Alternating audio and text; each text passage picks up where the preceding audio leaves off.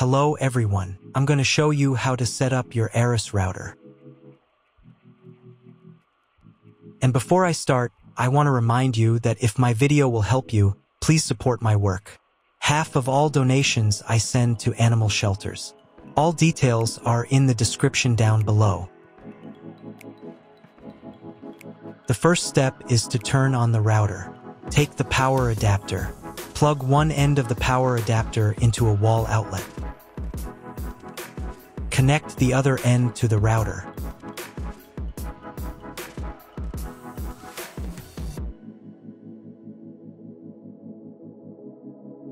When it's powered on, a light will illuminate.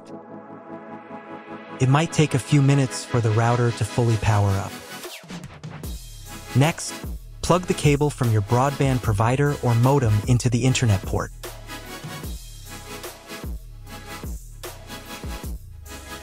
Now you should reset the router to its factory settings. Hold down the reset button on the router for 10 seconds. Wait for the lights on the router to begin flashing. Occasionally, this button can be found inside the router casing to avoid accidental presses. Use a slim object to press it down.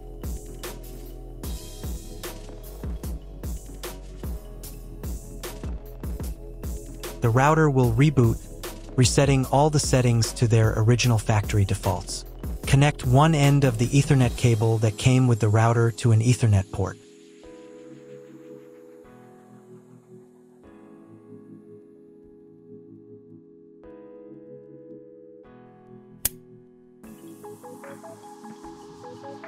Connect the other end to your computer or laptop's Ethernet port.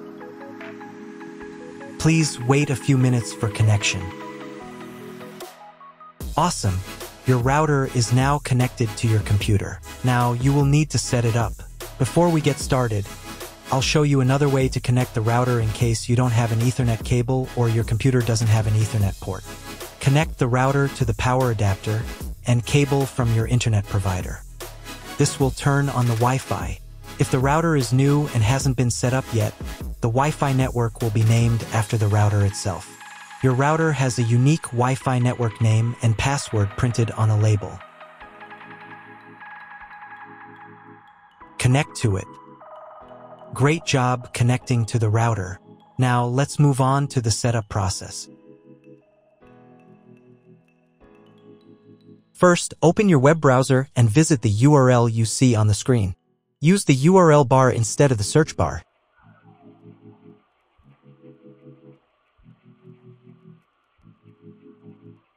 The beginning, you will see a form with a login and password. Usually, it is admin and password. If these credentials are wrong, then find label on your router. The credentials are often printed on the bottom of the device.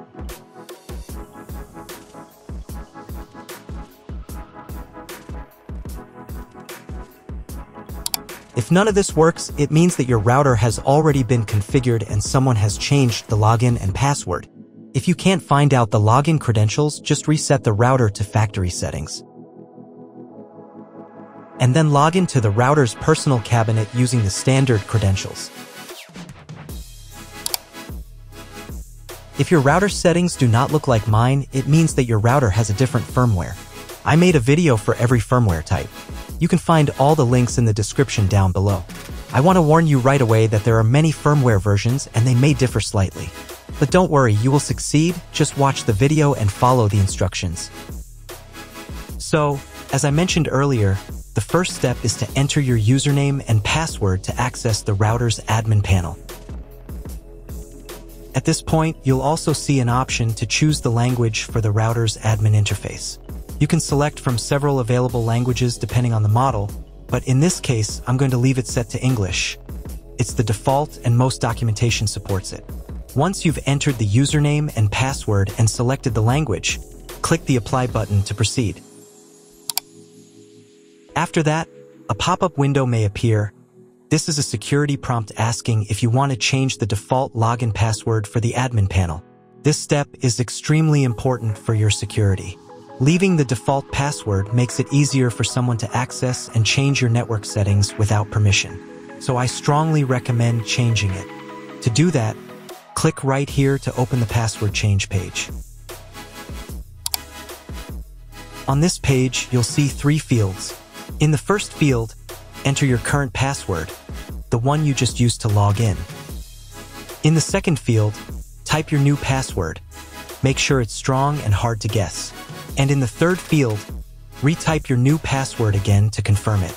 The password must be at least 8 characters long, but ideally you should use a mix of letters, numbers, and symbols to make it more secure.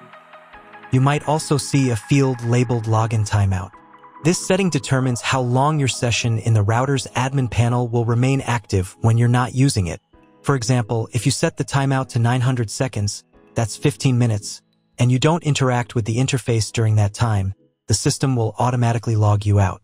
This feature helps protect your router from unauthorized access in case you leave your computer unattended while logged in. Once you've made all the changes, click Apply to save them. Now, let's move on and change the Wi-Fi network name and password. To do this, go to the Basic Setup tab and then click on the menu option also called Basic Setup.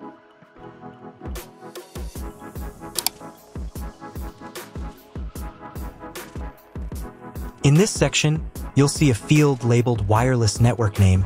Here you can enter a custom name for your Wi-Fi network. This is the name that will appear when you search for Wi-Fi networks on your phone, laptop, or other devices. Right below that, there's another field called Wi-Fi Security Key. This is where you'll set the password that protects your wireless network.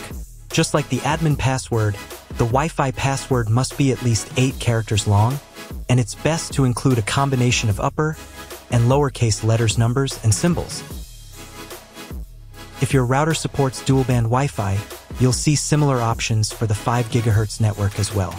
You can change the name and password for that network too, or simply copy the same ones if you want all devices to connect automatically.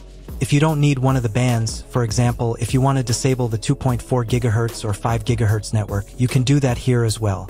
Just uncheck the box next to the network you don't want to use. When you're done making changes, click the Apply button to save your new settings. You'll see a message saying, your settings are being saved. It may take up to one minute to write the settings. Please do not close the window or turn off your router while the settings are being applied.